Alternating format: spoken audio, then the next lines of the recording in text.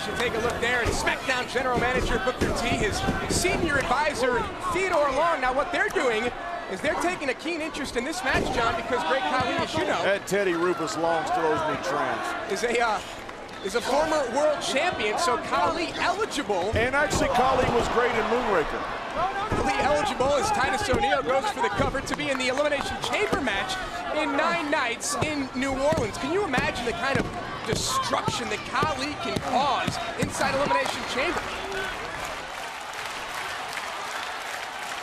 Can you imagine the kind of destruction? Didn't you think? Didn't you think he was great in Moonraker? Yeah, it was one of my favorite movies. He gave Hornswoggle a yo-yo, and Hornswoggle got really mad. Oh, big shot there from Khali to Titus. Khali falls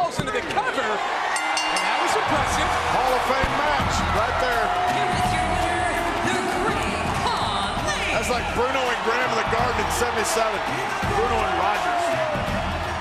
Bruno and back.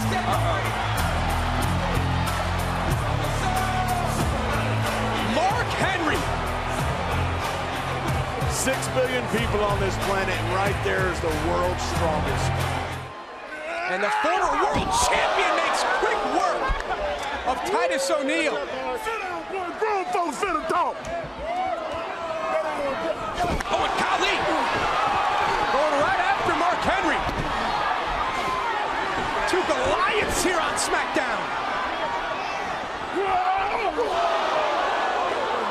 Mark Henry's wanting to impress. I hope our general manager Booker T is still watching. But Great Khali has Mark Henry down to one knee. Khali didn't back down at all from Mark Henry. Going for the Punjabi plunge.